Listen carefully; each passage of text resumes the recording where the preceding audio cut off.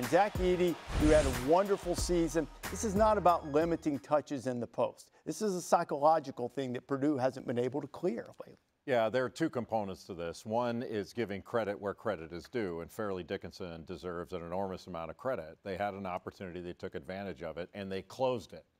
So at the end of the game, they closed it and they made made really big plays. But then you also have to place blame where you have to put blame, and that's on Purdue. I mean, Purdue shot 36% against a team that's ranked 350th in adjusted defense. And this, this is a team that in the metrics is ranked 275th in the country. And there's never been that big of a spread where an upset's been pulled off in the history of this tournament. This is the biggest upset in, in, the history of the tournament. Purdue coughed it up 16 times. That was a plus seven turnover advantage for Fairleigh Dickinson in this game. And Purdue, 36%. Uh, and uh, Fairleigh Dickinson did an amazing job, I thought, of using their size in a positive way. They're really small. They're smallest team in Division One. So they played Zach Edey low. They used leverage on him. Anytime he brought the ball down, they were there to bother him. And, but they, they made choices. There were some wide open shots that Purdue had. They either missed them or didn't take them.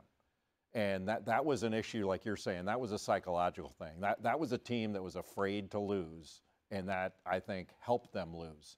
Uh, this one's going to be hard to, hard to sit with. I agree with, with Matt Painter. But three years in a row of losing to North Texas a 13, then St. Peter's a 15, and now Fairleigh Dickinson a 16.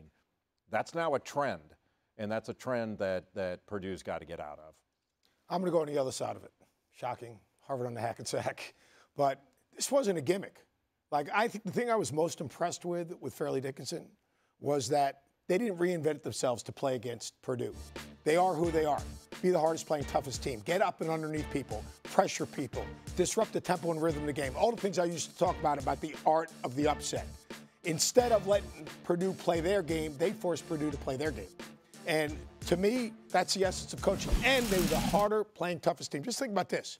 They were plus 10 in, in points off turnovers, plus five in second chance points, plus one in fast break points. All hustle uh, stats. To me, what Fairleigh Dickinson did was they, this wasn't a, a, a gimmick.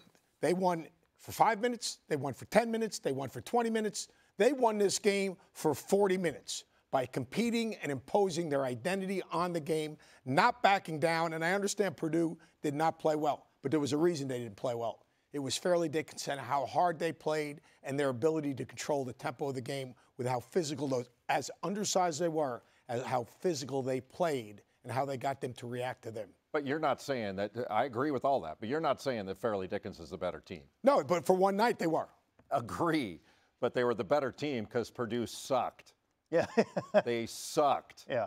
And, and that you got to place the blame where it needs to go, and it needs to go on Purdue. I, and I totally agree with that, but you also have to give, like you said, well, he did. Said the credit. I did. Let, let, let, let me let me let me get Fon, let me get Fonz in here. Fonz, I don't know that there's any event in sports, maybe the Masters in golf. I was trying to think last mm-hmm. night, an event yeah. that can crush competitors mm. with the pressure and the expectations and the fear of losing the way the yes, NCAA yes. tournament can, and really the way it did mm-hmm. Purdue mm-hmm. last night. Uh, there's no question about it. I thought Seth made a great point. I, I thought uh, Fairleigh Dickinson did a great job of making Purdue uncomfortable, whether it be pressing for 94 feet in the half court. They were dropping one guy in the lap of Zach Edey, uh, making his touches uh, a bit uncomfortable. He was the, that was the first time I've seen him all year be a bit uncomfortable. And you guys know I've said all year long my main concern as Purdue got to the NCAA tournament was how would their rookie their freshman backcourt respond. And and I, I love both of them and they play really well. But you're talking about a team that really turned that basketball over. Jay alluded to it. The pressure got to them. They turned it over 16 times in that game. Braden Smith had seven of those turnovers, and so that was that was was a look that they hadn't seen a lot of, and I thought they crumbled under that pressure. So was it psychological? The fact that they had lost a double-digit seeds in the past? Absolutely. But Fairleigh Dickinson did a great job. Remember, the tallest guy on Fairleigh Dickinson's team is six six. They imposed their will and their style on Purdue, and Purdue just crumbled. Okay, uh, we've got a lot more stuff to get to, but there's one thing that jumps out. I've said it. Uh, you know, we've talked about addressing the trend What is it that you do? Now, if you're if you're Purdue, how do you how do you do something concrete and tangible to deal with what is clearly an issue in your program now? Well, I think it's it comes down to your mentality. You know, you go into a fight, you don't stand there and and try to avoid punches. You punch. And Purdue did not throw one punch in that game. Not one. And th- that has to be profoundly disappointing to, I mean, I know Boilermaker fans, but to the players themselves. And, you know, look, Fairleigh Dickinson lost 15 games this year. They beat one team ranked in the top 300 in the KenPom rankings. That was St. Joseph's. I'm, I'm not. They played great. They did everything they're supposed yes. to do. All credit to, to mm-hmm. Fairleigh Dickinson. Mm-hmm. But you have to look at the other side of this and yeah, say, did sure. Purdue do anything they were supposed to do? And the answer is no. There was no adjustments made. Nothing was done to yeah. change that. And that, that's a mindset thing. You know, you don't go into that game saying, "Well, we felt disrespected by what Tobin Anderson said in the in the post game in the locker room after they won their their first four game." and then go out there and, and like be the reacting team instead of the dictating team. Purdue dictated nothing in that game. And that, that needs to be that needs to be said.